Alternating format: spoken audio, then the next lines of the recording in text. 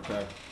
There's no way that man creates woman. There's no way possible at all.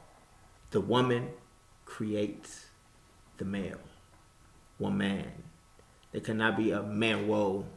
There's a woman. You can take the woe out of the man. but you can't. Mm, mm. You could take the woe out of the man. But there is no man without the woe.